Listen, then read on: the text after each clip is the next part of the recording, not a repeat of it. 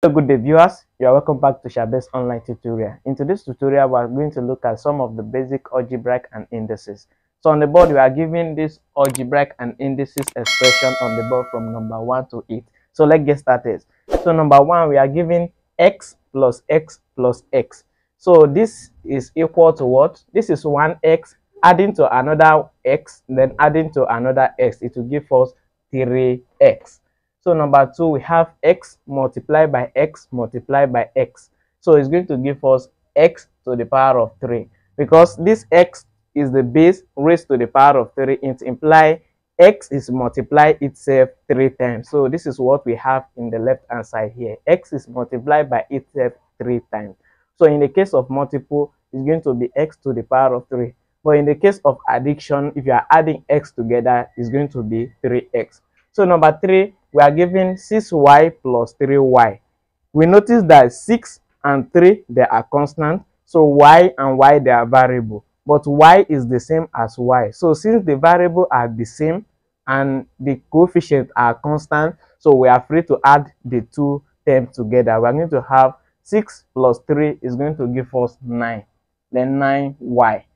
So number 4, we are given 7x plus 2y we notice that 7 and 2 they are constant but x and y are variable. But in this case x and y they are not the same. They are different variables. So in this case we cannot add these two terms together. So the result is still the same as 7x plus 2y nothing changed.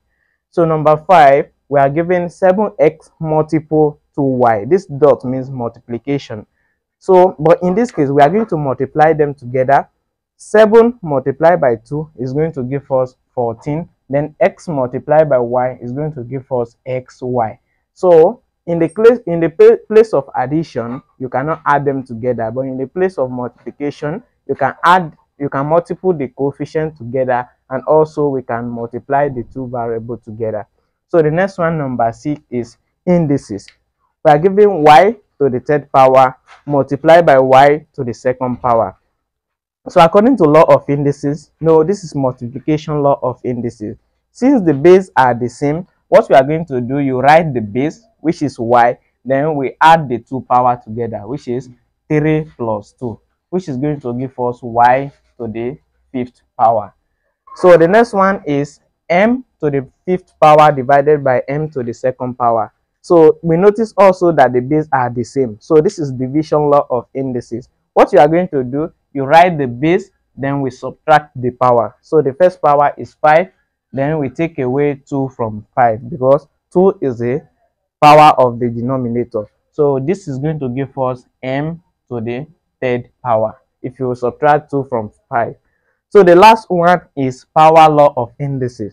We have x as a base raised to the power of 6 and all is raised to the power of 2 so according to the power law of indices, we are free to multiply the two power together. So this is going to give us x to the power of 6 multiplied by 2, which is the same as x to the power of 12.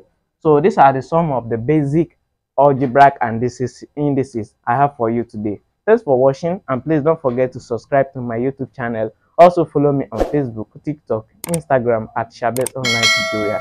Bye.